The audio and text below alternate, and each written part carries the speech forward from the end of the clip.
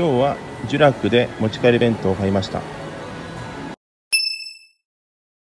はい。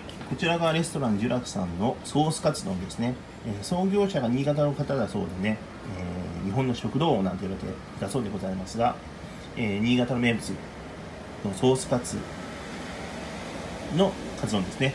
はい。これいただきます。ありがとうございます。今日も浅草イーツ by 浅草。よろしくお願いします、えー、今日は、えー、レストランジュラクさんの、えー、ソースカツ丼をいただきます。僕の世代だとね僕がガキの頃あの小学校とかぐらいの時に、えー、ジュラクさんのコマーシャルが有名でした。あのマリリン・モンローさんのそっくりさんが「ジュラク4」っていうねあのコマーシャルですね。よくネタになってましたよね。あのまあ、ホテルなんかがね有名なんですけどもレストランから始まってます。上野とか神田から始まって浅草にもあります。いやソースカツ丼というねこちら。いただきます。じゃあジュラクさんに感謝してね、え今日も浅草イーツ始めちゃいます。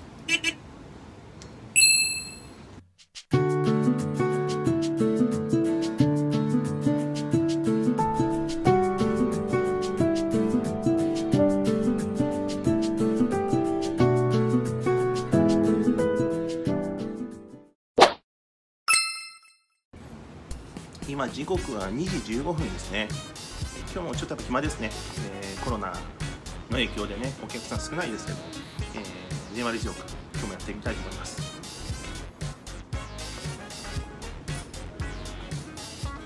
うん。スマイルグー。は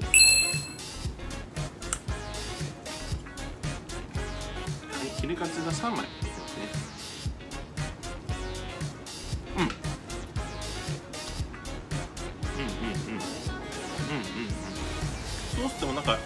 甘い感じですね。醤油っぽい、うん、卵のないカツ丼みたいな。ソースと言いながら尖った感じじゃなくて天丼のタレみたいな。なんか甘いソースですね。もう一回ね、箸休めならぬ箸柱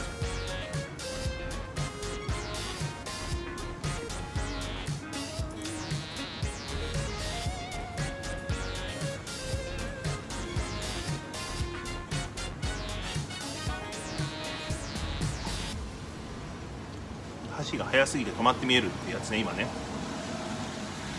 通行人バカ見る目で 今見てましたけどね。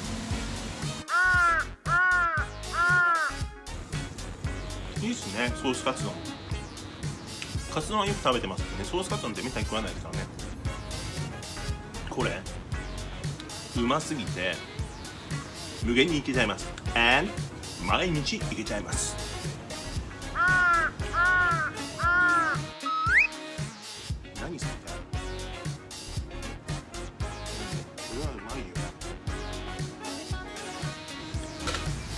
ジュラクさんのソ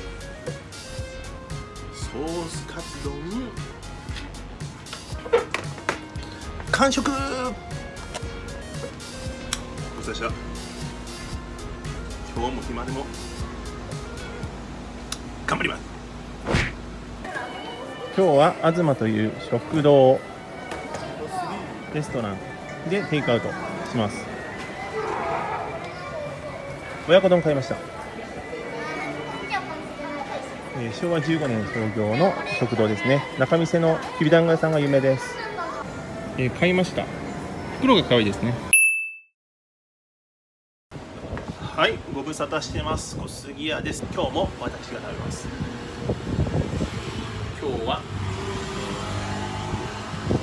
浅草うまいもん東さんの親子丼です。東さんといえばねきびだんごを中見世で売ってますけどもそれも美味しいですよねめちゃくちゃね、えー、着物かなんか着た店員さんがまた可愛くてね。元は喫茶というか食堂ですから、えー、今日弁当食います。お店では漫画家さんがね、えー、来るようでサインがあったりとかしますね。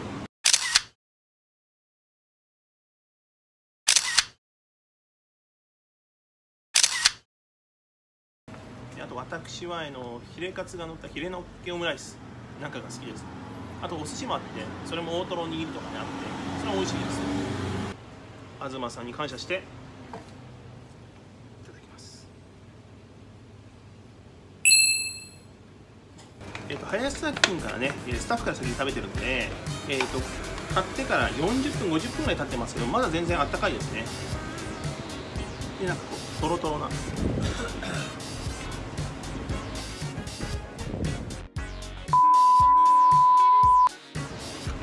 卵トロトロ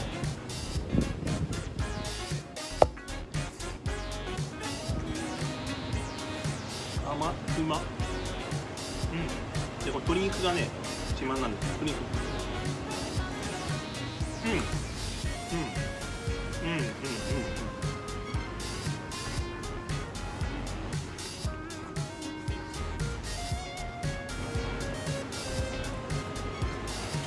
天丼が多くてね親子丼初めてですね今日今回浅草行って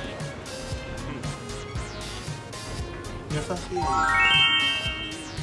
大山地鶏だから鶏肉でこん。な感じで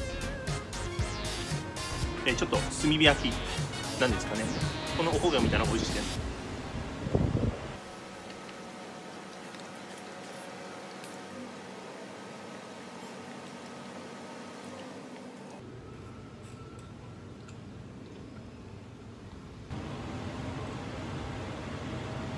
完食東さん。ごちそうさまでした。最高でした。今日も暇です。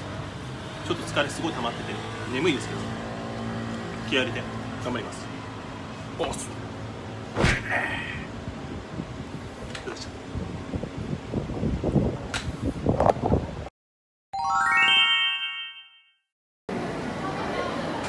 今日はスカイツリーに来ましたバターで有名な四つ葉さんのクレープ。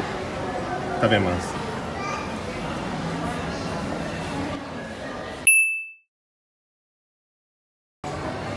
Welcome to the real world.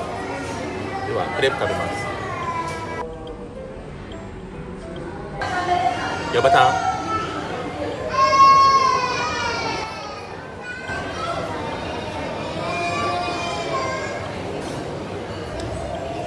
優しい甘さがです。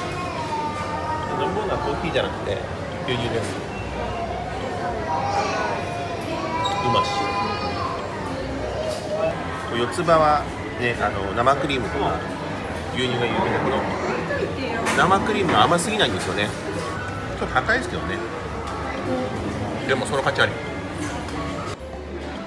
はい。というわけで北海道産かぼちゃと小豆のモンブランクレープちょっと名前長いですね完食しました。飲み物ミルクにしました。280円やっぱ牛乳が美味しいと何でも美味しいですね。生クリームも美味しいしあの生地も美味しいしもちもちでめちゃくちゃ美味しかったですまた来ます。